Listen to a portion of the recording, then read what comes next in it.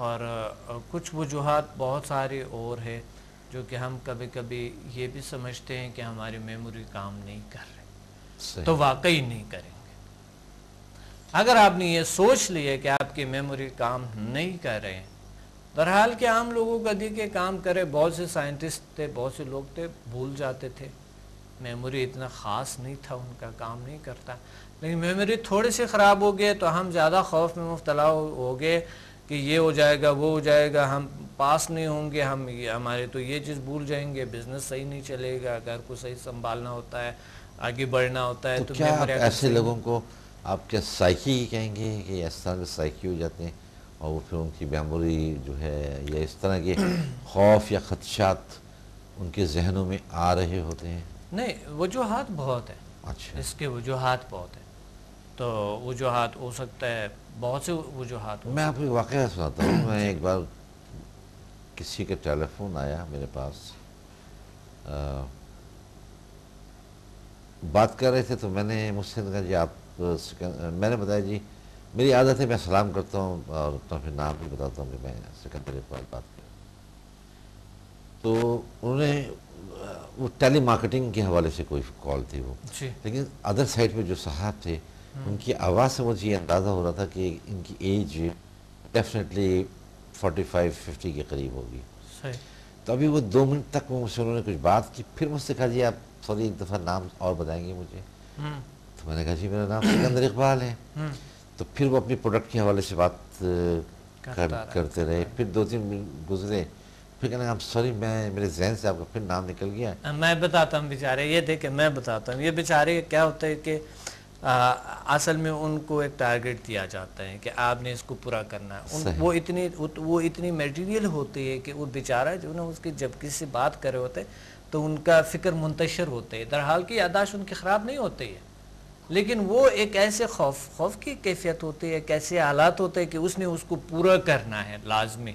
तो टारगेट को पूरा वो बिल्कुल लेकिन कुछ लोग होते हैं कि वो तेज़ी से उसका जैसे आपने बता दे वो नाम लिख लेते हैं फ़ौरन। तो फ़ौरन उसको देखते रहेंगे और बड़े अच्छे वो मार्केटिंग के हवाले से आपसे बात करते रहेंगे। और इस तरह के अगर कोई है तो वो दूसरा जो शख्स है उसका सुनेगा ही नहीं कि फिर तुमने कॉले किसको किए हैं? हाँ। अच्छा नहीं मैंने उनको पूछा क्योंकि मेरी आदत है थोड़ी सी तजस अच्छा, अच्छा। की है तो मैंने उनका नाम इकबाल था तो मैंने इकबाल साहब आप ये बताइए आपने अभी मुझसे सिर्फ़ सात या आठ मिनट बात की है हम्म। और इस आठ मिनट में आपने मुझसे तीन दफ़ा मेरा नाम पूछा तो इतना जल्दी आप कैसा नाम भूल रहे हैं। हम्म। तो वो कहने लगे बस परेशानियाँ बहुत ज़्यादा हैं आमदनी के ज़रा कम हैं। तो मैं इतना ज़्यादा टेंस रहता हूँ और इतना ज़्यादा डिप्रेस रहता हूँ। तो मैं ट्रिंकुलाइजर्स यूज़ कर रहा होता हाँ। तो मैंने कहा आप कितने अरसे से ट्रिंकुलाइजर यूज़ कर रहे हैं? तो कह लेंगे मैं पिछले दस से पंद्रह साल से मैं ट्रिंकुलाइजर यूज़ कर रहा हूँ। तो अब ये होता है कि मैं अक्सर भूल जाता हूँ। मैं घर से नीचे उतरता हूँ। ये सोच के उतरता हूँ कि मुझे टावर जाना है जब मैं नीचे आता हूँ तो फिर मुझे मुझे सोचना होता है कि मैंने कहाँ जाना है। तो फिर मुझे याद ही नहीं आता कि मुझे टावर जाना है। तो मैं फिर सदर चला जाता हूँ किसी से मिलने के लिए। या अक्सर अब ये करता हूँ कि जी मैं लिखता हूँ। पहले कि मुझे आज ये ये काम करने। तो मैं लिखे बगैर नहीं करता सिर्फ़ अपनी याददाश्त की बिना पर मैं वो काम पूरे अंजाम नहीं, दे सकता, दे सकता। जो मुझे उस पूरे दिन में करने होते। ट्रंकुलाइजर्स का भी ट्रंक दवाइयों का बहुत मैंने आपको बताया कोई बीमारी की वजह से या दवाई की वजह से ज़्यादा खाने की वजह से भी होती है। क्योंकि ट्रंकुलाइज़र हमारे आसाब को बिल्कुल एक यानी ढीला कर देते हैं हमारे मेमोरी को। ड्राउजी भी कर देते हैं कर देते हैं काम ढीला करते हैं बिल्कुल। और बिल्कुल नशीली चीज़ें जैसे कि मसलन शराब नोशी है ऐसी चीज़ें ये भी इंसान की यादाश्त को आ, बहुत कम कर देता है। आपने देख लिया होगा कि नशे के कैफियत में कोई शख्स बहुत से कुछ बोल रहे होते हैं जो इख्तियार में नहीं होते हैं वो। तो इस वजह से क्योंकि उसने उसको ये याद नहीं है कि मुझे क्या बोलना है। उसने मेमोरी को थोड़ा सा डाउन किए हैं। तो ये चीज़ें वाकई असर करते हैं। जी। ये बहुत और दिस वाज द रीज़न कि वो उन्होंने आठ नौ मिनट में नाम मेरा तीन बार पूछा उनको याद नहीं रहता था। इसलिए कि इतना कुछ चल रहा होता था बात तो मुझसे करें। अच्छा मैंने अक्सर ये भी देखा है लोगों को कि मैं उनसे बात कर रहा हूँ वो मेरी तरफ़ देख भी रहे हैं। लेकिन उनके चेहरे के तासुरात से मुझे ऐसा लग रहा होता है कि वो मुझे देख तो रहे हैं लेकिन मेरी बात सुन नहीं रहे सुन नहीं रहे कहीं और। तो वो कहीं और हैं वो सब वहाँ पे प्रेजेंट नहीं है। अब मैं जब उनसे कहता हूँ कि जी आपने क्या जवाब दिया? वो कहते जी क्या आप मतलब वो एकदम चौंक जाते हैं ना क्योंकि उन्होंने मेरी बात सुनी ही नहीं। हम्म। तो ये भी कोई मेमोरी से इसका कुछ रिलेशन बनता है? ये कंसंट्रेशन की बात है ये मेमोरी से नहीं है। अच्छा। कंसंट्रेशन उनकी नहीं है यहाँ पर क्योंकि वो कई और होते हैं जब वो काम जो उन्होंने करना है या किसी बात करना वो कहीं तो और अच्छा यहाँ अक्सर ये हुआ है कि हमारे प्रोग्राम में मुख्तलिफ़ साइकियाट्रिस्ट भी आए हैं। तो वो बहुत ज़्यादा इस तरह का क्योंकि उन मैंने उनसे कहा जी आपके यहाँ कोई अगर आता है कोई पेशेंट आपके पास जाता है तो आप उसको ट्रिंकुलाइजर ज़्यादा देते हैं अदर मेडिसिन के साथ साथ, और काफ़ी हैवी डोसेस होते हैं ट्रिंकुलाइजर्स के, जिसकी वजह से वो शख्स सोता ही रहता है। तो उनका उनका जवाब बार एक डिफरेंट था, उनका कहना था कि हम इसलिए ट्रिंकुलाइजर्स देते हैं कि जो हमारी दवाइयाँ हैं, क्योंकि उसको पेशेंस चाहिए उसके जहन को सुकून चाहिए उनके असर होने के लिए। मेडिकली तो बिल्कुल सही है मेडिकली तो जो हाँ। मेडिकल के मुताबिक बिल्कुल दुरुस्त हाँ। वो सही बात है। लेकिन उसका साइड इफ़ेक्ट ये और होता है मैंने किसी भी ट्रिंकुलाइजर का आप देखिए उसके साथ जो उसका लिटरेचर होता है उसकी जो तहक़ात उस पर लिखी होती हैं उसके साइड इफ़ेक्ट्स में मेमोरी लॉस्ट ज़रूर लिखा हुआ होता है। बिल्कुल बिल्कुल मेमोरी लॉस हाँ तो अब उसका क्या है? अगर कुछ डिप्रेशन टेंशन और इन तमाम चीज़ों में मेडिकली तो हम हमें ट्रीटमेंट देनी चाहिए करनी चाहिए। साथ साथ लेकिन इसका तोड़ क्या है? हाँ, अगर हाँ, नेचुरल तरीके से। नेचुरल तरीके जी मैं बता दूँ मैं सबसे पहले तो ये जानना बड़ी ज़रूरी है कि कुछ लोगों की खुद गलत फहमी भी होती है कि उनके मेमोरी अच्छे काम कर रहे होते हैं लेकिन वो कहते हैं मेरी मेमोरी कमज़ोर है। तो वाकई वो कोई चीज़ याद नहीं कर सकते। जब भी वो पढ़ते हैं मुझे याद नहीं होगा।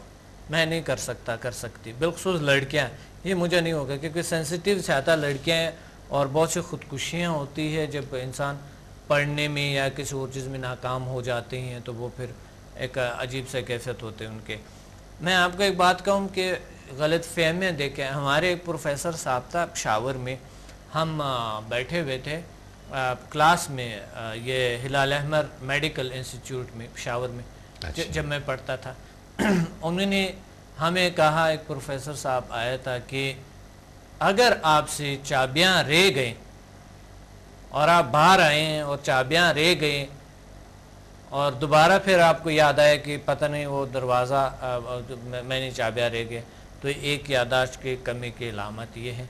दूसरी बात यह है, अगर आपने दरवाज़ा सुबह सुबह आ रहे हैं, दरवाज़ा आपने खुला छोड़ा है और फिर आके जब आप कुछ तक आ जाते दोबारा जाके तो आपके यादाश्त का ये समझ लो कि ये आपकी यादाश्त की कमज़ोरी थी। सही।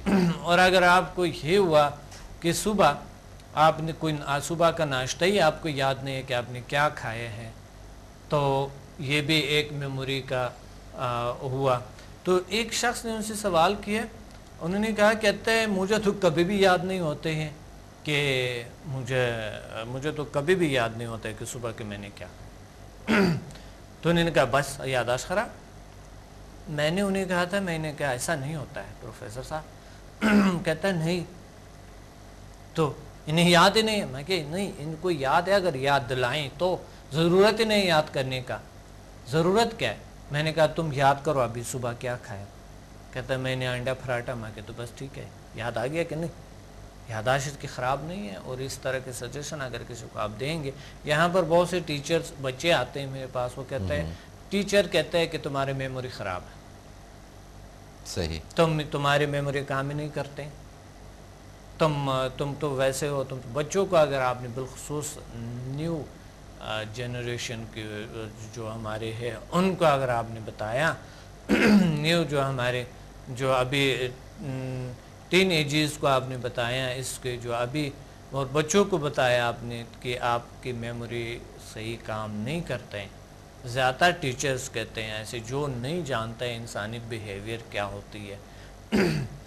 तो आप समझ लो, बच्चे के साथ आपने इतनी ज़्यादा की है कि वाकई उसकी अद्धा मेमोरी इसी बात करने से वो लूज यानी अद्धा मेमोरी वो उसके कम यादाश्त कम हो जाते हैं उनकी। तो अच्छा। तो एक तो ये एहतियात करें और ये एक तदाबिर यानी पर कहते हैं एहतियात से इलाज से एहतियात बेहतर है। एक तो ये गलत फहमी दूर करें कि दुनिया के बड़ी बड़े लोग दुनिया के बहुत ही अजीम लोग थे जिनकी मेमोरी सही काम नहीं करता था। बहुत से ऐसे लोग भी हैं लेकिन वो दुनिया के अजीम लोगों में से दूसरी बात यह है कि एहसासी कमतरी कभी कभी हमें वाकई यादाश्त की कमी में मुफ्तला कर देते हैं। एहसासी कमतरी जो होती है। अच्छा। तो आपने सबसे पहले यादाशी जो एहसासी कमतरी है उसका क्योंकि एहसास कमतरी एक ऐसी चीज़ है कि मैं इस काम के काबिल नहीं हूँ। मैं किसी से बात करने के काबिल नहीं हूँ। मैं लोगों के दरमियान आकर तो मैं घबराऊँगे ये कोई इस तरह वो घबराहट की वजह से मेमोरी भी इंसान को लॉस करते हैं। तो इस वजह से इन्हें ये चाहिए कि सबसे पहले वो अपने जो ख़ुद इतमादी बेबी इतमादी है वो आ, का उसका इलाज करें और ख़ुद इतमादी लें। टेक्निक्स बहुत है मैं हम हर प्रोग्राम में बताते हैं ख़ुद इतमादी को कैसे बढ़ाया जाए। और इस तरह के आ, एक और तरीका यह है कि अच्छे तरीका जो है जो पास अच्छे होते हैं। जिस तरह हमने शेर सुनाया कि माजी को बिल्कुल यानी भूल जाए भूल जाना चाहते छीन जाए मेरे से। लेकिन अच्छे होते हैं क्योंकि आगे हमने बढ़ना होता है। माजी कभी कभी हमारे बहुत अच्छे होते हैं लेकिन अच्छी चीज़ें याद करें। दिन में जब जो भी आप काम करते हैं याद रखना कि एनएलपी और सिल्वा मेथड्स में आपको सिखाते हैं कि दिन के जो भी गुजरे वो चीज़ों को याद करो। लेकिन मैं मेरा चुन के तरीका बिल्कुल अलग है इस चीज़ों से। आपने सिर्फ़ फोकस करना है रात को सोने से पहले। उस पर फोकस करना है कि सिर्फ़ आपने जो अच्छाइयाँ हैं जो दिन में अच्छाइयाँ गुजरे उसको एक बार याद करो। याद कर लो। एक बार फिर याद करो। जो अच्छाइयाँ जो आपने अच्छा काम किए जो खूबी जो खुशी देखे छोटे से खूबियाँ देखे आपकी जो उसमें एक ताकत यूज़ हुआ है पावर यूज़ हुआ है दिमाग की जिस्मानी जो आपकी वजह से कुछ हुआ है या किसी ने अच्छी बात कही है आपको कोई भी चीज़ अच्छाई दिन में जो भी गुजरा है उनको याद करो। अगर इस दिन में नहीं गुजरा है तो पिछले दिन को याद करो अगर पिछले में नहीं तो इस हफ़्ते में याद करो जो खूबियाँ क्या थे उस पर फोकस करो एक बार याद करें उसको रात सोने से पहले और चंद गहरे गहरे सांस लेके इस तरह बैठ के चंद गहरे गहरे सांस ले गहरे गहरे सांस यानी खूब पेपड़े भर जाएँ और इस तरह छोड़ दें। मेरे मेरे ख्याल में प्रोग्राम्स देखेंगे पिछला पाँच साल से मैं ये प्रोग्राम्स करवाता रहा तो वो गहरे सांस लेके आप, आप होल्ड रखें थोड़ी देर के लिए और पास्ट को याद करें दिन को याद करें अच्छाइयों को याद करें होल्ड रखें उसको। और फिर थोड़ी देर अगर तंग आए तो छोड़ दो दूसरा लें फिर याद करें। इसी तरह फिर आप सो जाएँ। और मैं शर्त लगाता हूँ आपकी ज़िंदगी में चेंज भी आएँगे तब्दीलियाँ भी आएँगे और साथ ही आपकी मेमोरी भी बहुत अच्छी हो जाएगी। बहुत अच्छी हो जाएगी। सही। मैं ये नहीं कह रहा हूँ कि कम्प्लीटली कम्प्लीटली तो किसी का भी कुछ ना कुछ यादाश्त तो कमी किसी का भी हो सकता है। हम्म। ऐसी बात नहीं है। तो वो तो कुछ ना कुछ तो हर इंसान को होता है दुनिया में कोई ऐसा शख्स नहीं है कोई भी ऐसा शख्स दुनिया में नहीं है। देखिए मैं, मैं समझता हूँ कि हमारा जो माजी का हम शायद 80 फ़ीसद तक हमें याद रहता है। अब अगर कोई मुझसे ये पूछे कि जी आपने टेंथ नवंबर 1972 को क्या कपड़े पहने हुए थे तो डेफिनेटली मैं नहीं बता सकता हूँ। लेकिन जो बड़े इवेंट्स ज़िंदगी के होते हैं जो बड़े वाक़ात होते हैं हादसा होते हैं हाँ मैं बता सकता हूँ कि जी मैंने मैट्रिक किस सन में किया हम्म। मैंने ग्रेजुएशन किस सन में किया या पोस्ट ग्रेजुएट मैंने किस सन में किया। तो 80 परसेंट हमारा माजी हमें याद रहता है। सही सही। 20 परसेंट हम भूल जाते हैं। अगर कोई अगेन मुझसे कहे कि आपने तेरा अभी मुझसे एक हफ़्ते का भी पहले पूछे या पंद्रह दिन पहले का ही पूछे कि जी उस वक्त दोपहर को आपने क्या खाया था? तो मुझे नहीं याद होगा। इससे कि कुछ चीज़ याद रखने वाली नहीं थी। बहुत सी रूटीन की चीज़ें ऐसी होती हैं कि जो वो रूटीन की होती हैं और इतनी गैर अहम होती हैं कि वो इवन हमारे जहन में भी कहीं मौजूद नहीं होती हैं।